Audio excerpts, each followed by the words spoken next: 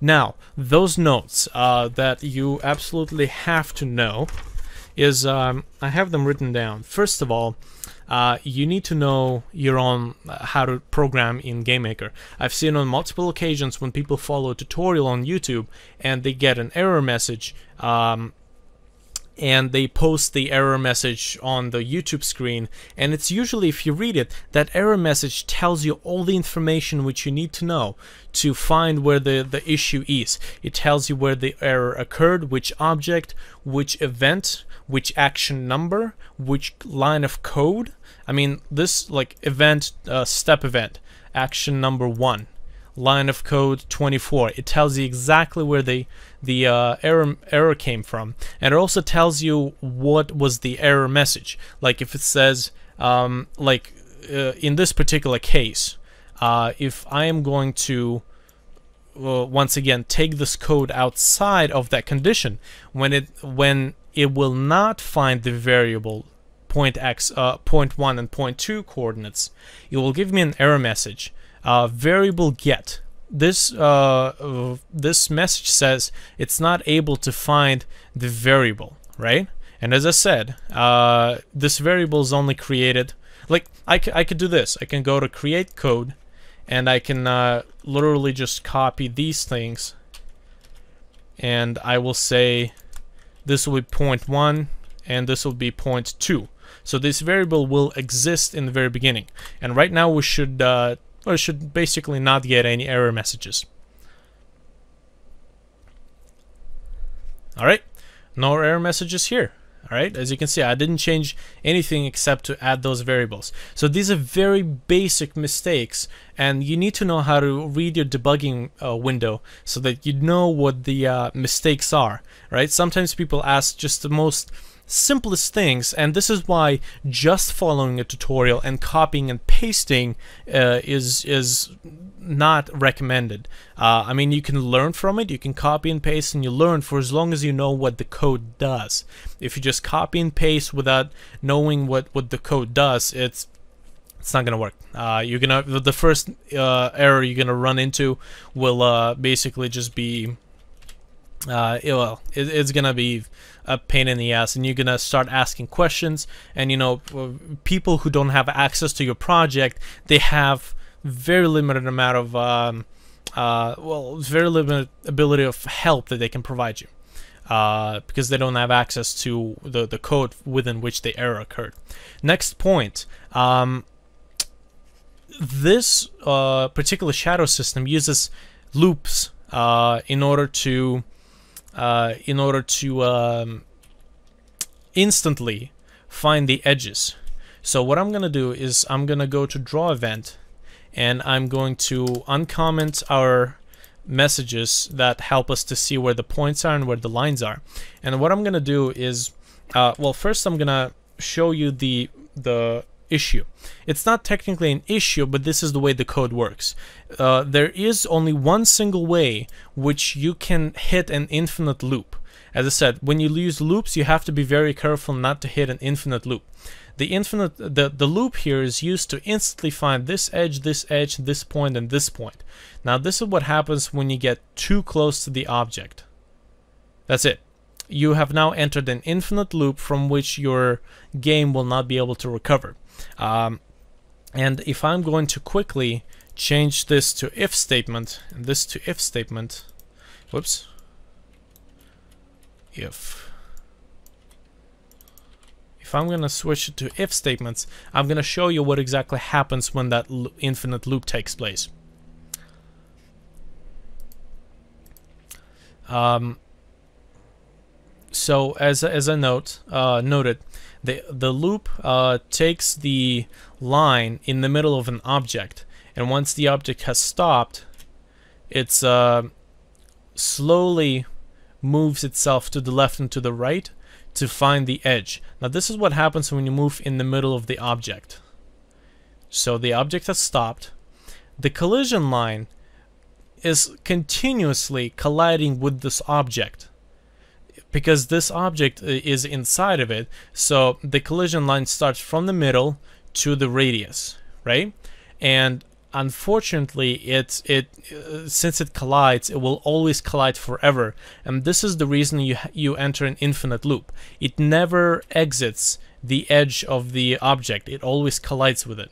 Uh, so that's one thing to watch out. So uh, a good way to, uh, whoops, uh, I'm going to change that back to while loops. Uh, a good way to avoid it uh, would be to have to properly uh, have your collision uh, system. Make sure your collision mask doesn't change uh, origin point, so that once you know the object would not be able to go on top of it. So this would be you know this would be the the collision point and it would not go inside. So as you can see, it works fine, right? You just gotta watch out for like this is a basic thing. Uh, next point. Um, when you import that object, uh, it has a sprite to it. And uh, I am using a draw event here uh, because, um, okay, it coincides with another note which I need to tell you. Um, and that note is the uh, the draw self. Uh, it is meant for ch uh, children objects, and by that I mean we have the the object that creates the the shadows and it can be parented to a different object. As you can see there's the shadow system new. It's parented to this uh, ground block right? You can create a new object. Obj ground to to major tom. Okay so you can you can pick your your sprite uh you know make a new sprite whatever just uh, doodle something Here we go. I'll pick something. Purple, pink, whatever. Um, so, you got your sprite, you got your object, you select the um, the shadow system object as a parent, and if you will place that object now in the room, it is going to uh, accept the code, and it's going to use that code. There you go. It uses uh, it ta it takes in the shadows. Um, so the um, the code that is uh, the draw self. If you delete that code, uh, well, first of all, you're gonna hit an error message. I, well, good lord, don't lose yourself, man. Come on. Okay. Uh, so when you get this this object, it's not gonna have a sprite on it. Um, it's going to be spriteless. And this piece of code, the draw self, that it's in here,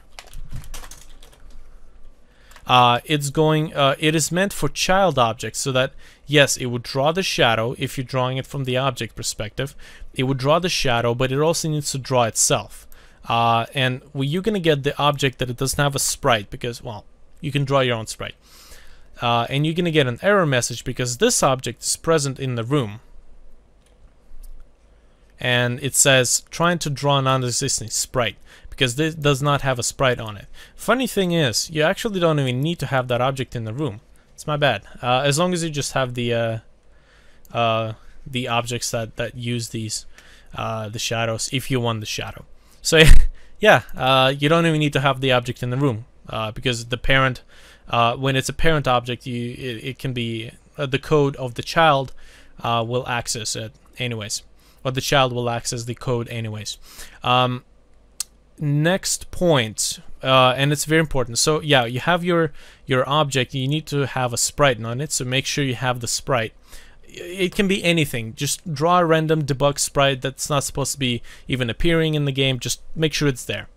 Uh, okay, so I will make sure I covered my ground there. Uh, the next point is um, uh, the next point is Oh, yes. Uh, if you have an object, like an object, uh, say I'm going to use that newly created object here. If I'm going to have a step event, if I'm going to have a step event, and uh, you have the parent of the shadow system as a step event, uh, this is what's going to happen your um, uh, the whatchamacallit, your child object, as you can see, it is not going to have the shadow system because uh, when you have a parent and the parent has a step event, the child will inherit that step event. But if the step if the child object has a step event of its own, it's not going it's going to disregard the step event of a parent and it's going to work with its own. And that's when you need to use an uh, function called event inherit inherited. And this function you just put it at the very beginning of your event um, and uh, it will uh, it will tell that even though you have a step event of your own, you still need to inherit the step event of the parent. Uh, so let's take a look. In the parent, you have a create event, step event, and draw event. If your child object needs a create event and a step event, you're gonna have to place that event inherited uh, code into the uh, the create event of your child object as well. Every child object that has its own event. Um, so that's important. It's very important because uh, you're gonna you're gonna get an error message, or you're not gonna get an error message, which is even worse because you can't you don't know where the problem is. Okay, so I'm just trying to cover all all my bases here. Um, what else? What else? Let me check. Consult my list.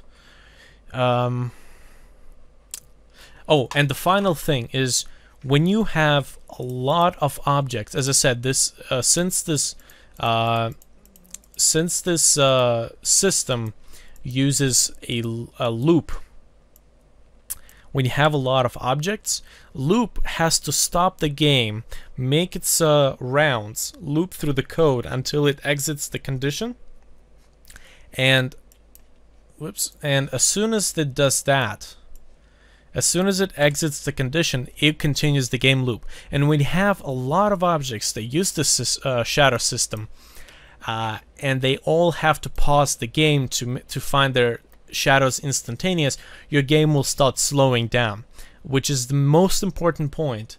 Uh, because you you know if you if you're after a if you need a, a fast game and uh, it it looks like a performance draw like you can see that you, you can already see the speed of the game with all these shadows in place, right? You can see that the speed is being impaired.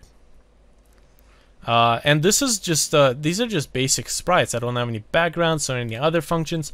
So imagine when you have your, your uh, uh actual game with tiles and backgrounds and uh, you know the, the parallax backgrounds and, and players and all those calculations just how much of a performance draw all these blocks will will will have on your system.